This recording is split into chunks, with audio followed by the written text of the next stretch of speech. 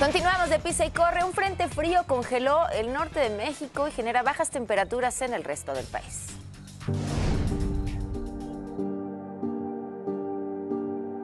¿Cómo le hacen para mitigar este frío? Ay, pues con leñita, el calentón con la leñita, porque sí está muy frío. No, pues abajo las cobijas en la noche, ahorita pues la leña y en la noche pues abajo las cobijas. Hay que tener mucho cuidado.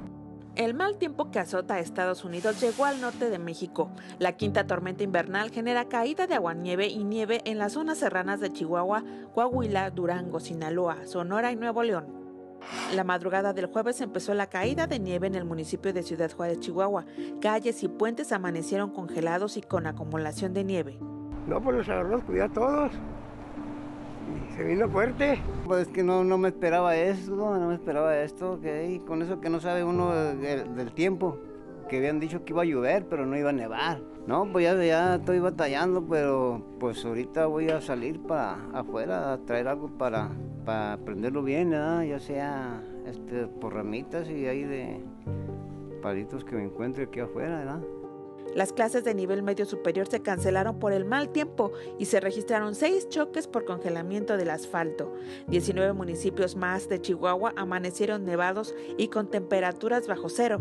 Protección Civil cerró la carretera panamericana en el tramo de Chihuahua a Ciudad Juárez, a la altura del municipio de Ahumada, y se ordenó la apertura de cerca de mil refugios.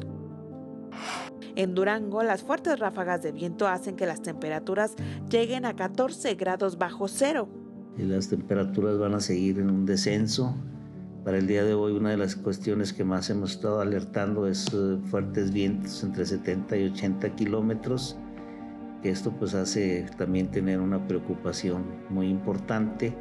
Protección Civil de Durango alertó a los gobiernos municipales a instalar refugios en las comunidades de mayor marginación ante el intenso frío. Tenemos ahorita caída de nieve por el Frente Frío número 28 y la quinta tormenta invernal. Tepehuanes es el más afectado con 24, Sandimas con 6, Santiago Papasquiaro con 6, Topia con 10, Canatlán con 1 y Otaes con 7.